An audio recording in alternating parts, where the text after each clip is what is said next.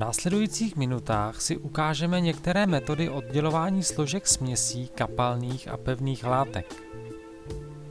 První z těchto metod bude filtrace.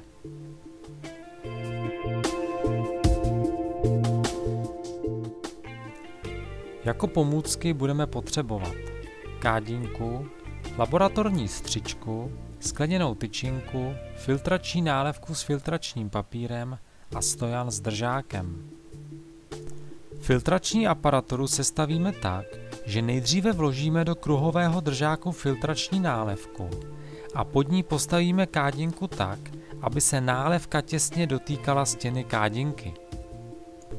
Filtrační papír složíme a vložíme ho do nálevky.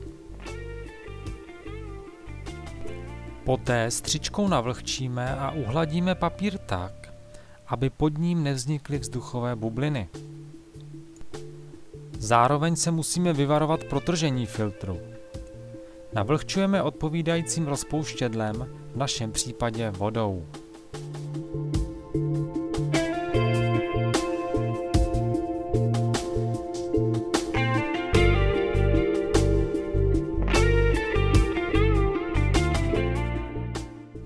Použitými chemikáliemi budou síran měďnatý neboli skalice modrá, dále pak aktivní uhlí a voda.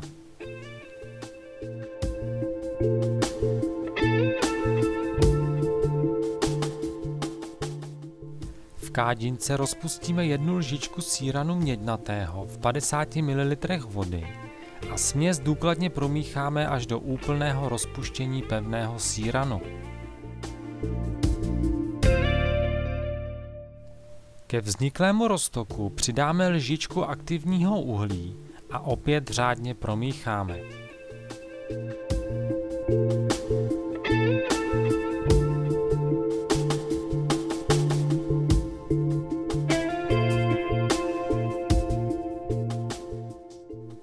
Poté přistoupíme k samotné filtraci.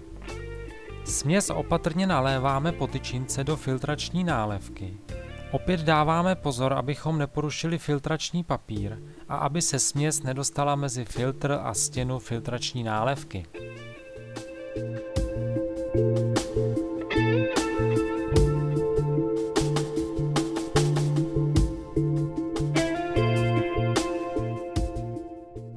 Vidíme, že na filtračním papíře zůstává aktivní uhlí a filtrát je tvořen vodou a síranem měďnatým.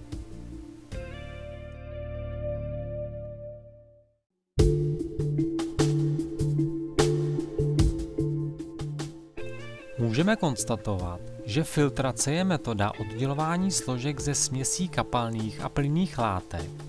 Dále pak, že pevné složky se zachytávají na filtru, který může představovat buď to filtrační papír, tkanina nebo také písek. A že kapalné složky protékají filtrem, pod nímž se v zachytávací nádobě hromadí tzv. filtrát. Filtraci můžeme také urychlit, a to buď snížením tlaku v prostoru pod filtrem, to je takzvaná filtrace za sníženého tlaku, a nebo ji můžeme urychlit zvýšením tlaku v prostoru nad filtrem, což je takzvaná přetlaková filtrace. Filtrace se využívá v průmyslu například při úpravě pitné vody, při čištění odpadní vody, nebo při výrobě cukru z cukrové třtiny, a nebo také k zachycení nečistot ve vzduchotechnice. Druhou metodou, kterou si ukážeme, bude volná krystalizace. Chemikálií bude filtrát získaný filtrací směsi z předchozího pokusu, tedy roztok síranu měďnatého a vody. Voda představuje rozpouštědlo a síran rozpuštěnou látku.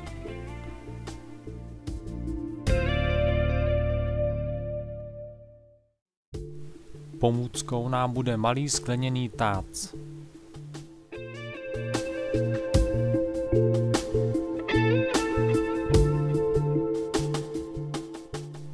Postup je následující.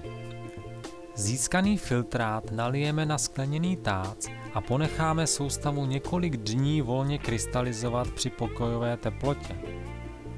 Bude tak docházet k samovolnému odpaření vody a asi po sedmi dnech zůstanou na skleněném tácu modré krystalky síranu měďnatého.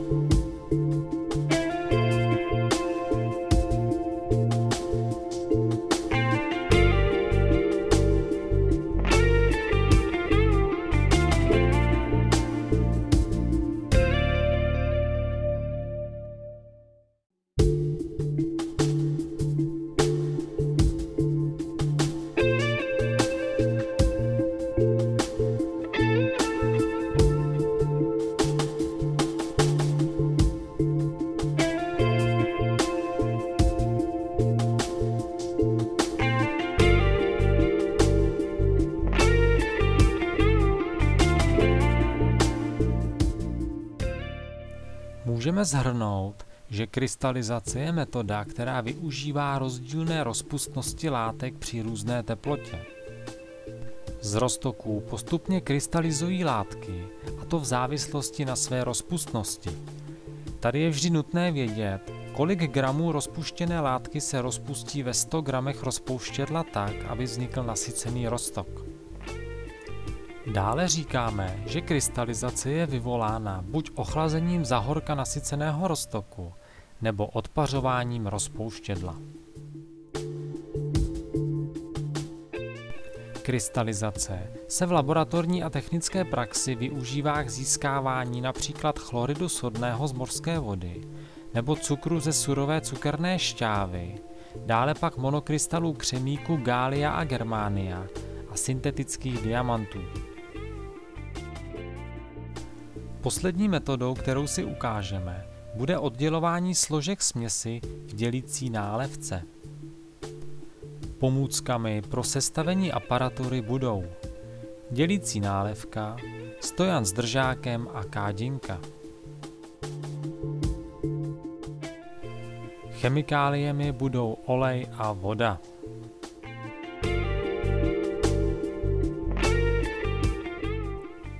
Postup této metody je následující.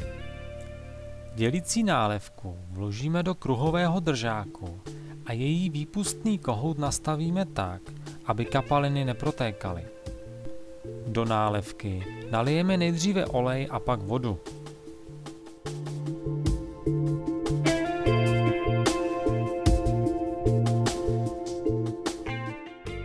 Zajistíme zátkou a směs důkladně protřepeme.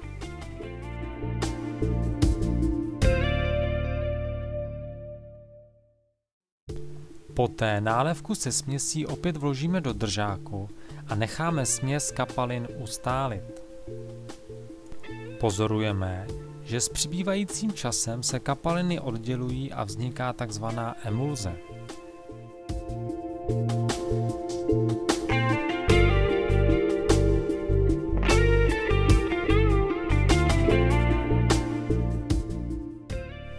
Je zde viditelné fázové rozhraní této heterogenní směsi.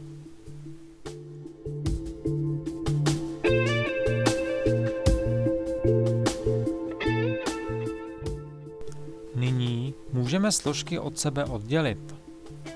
Výpustným kohoutem dělící nálevky opatrně upouštíme spodní vrstvu. V kádince jsme tak získali vodu.